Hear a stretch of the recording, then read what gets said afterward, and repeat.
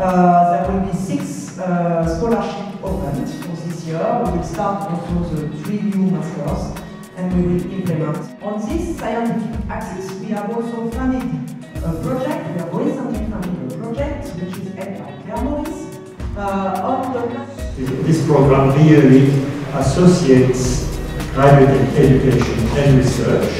We have 10 hours of lectures by keynote lecturers of international standard.